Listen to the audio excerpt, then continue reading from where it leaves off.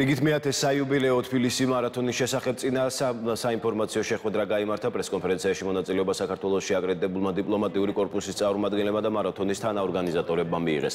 თბილისი მარათონის მონაწილეები წელსაც საქველმოქმედო მიზნებისთვისა და ჯანსაღი ცხოვრების წესის პროპაგანდისთვის ირბენენ ღონისძიებიდან შემოსული თანხა აუტიზმის ეროვნული ცენტრის 24 საათიანი მონიტორინგის კოტეჯის მშენებლობას მოხმარდება. ცნობისთვის თბილისი მარათონი 25 სექტემბერს კომპანია ჰაიდელბერგ ცემენტის ორგანიზებით თბილისის ცენტრ ცენტრალურ ქუჩებში გამართება სტარტს მონაწილეები რუსთაველის გამზირიდან აიღებენ.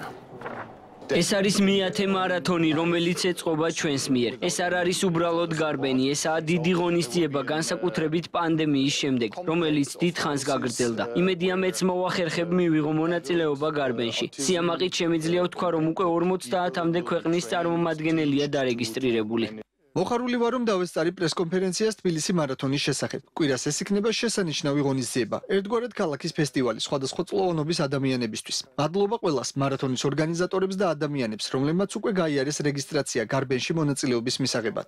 ჩვენთვის განსაკუთრებით სასიხარულოა ის, რომ ფაქტი, რომ მარათონში მონაწილე პირებისგან შემოსული თანხები მოხმარდება აუტიზმის ეროვნული ცენტრის მშენებლობასაც